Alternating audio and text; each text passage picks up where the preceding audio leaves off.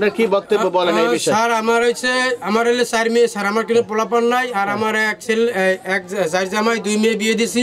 ঠিক আছে? এক জামাই বাইরে থাকে এক মাস হয়ে গেছে ঠিক আছে?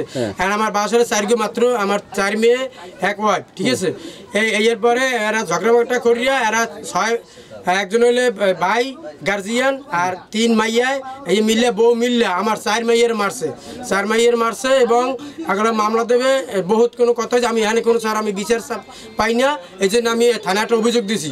আমি অভিযোগ দেওয়ার পরে আইয়া, তারপর গিয়েসুদ্দিন একটা লোক আছে, আমাকে এলাকার নেতা নেতা বর্তমানে হয়েছে ঠিক আছে এ আইয়া এগো দিয়ে সব চালায় যে আমরা আছি তোর সাথে, তোর পিছনে। ঠিক আছে? এই সব চালাইতে আছে, এরা এই গিয়াসুদ্দিন সব, কিছু করতে আছে। তা যাই হোক স্যার, আর আমি এটা মিট মীমাংসা হইবে কইছে। তারপর ধরেন হারা আমার কাছে মিডিয়া দেবে, তারপরে আমার মাইদে আমি দেহ ব্যবসা করি, আমি মদ খাই, আমি গাঁজা খাই, গাঁজা বেশি, এসব নানা স্থানের কথা কইয়ে স্যার। আমি একলা মানুষ, আমার কোনো লোক নেই জায়গা স্যার।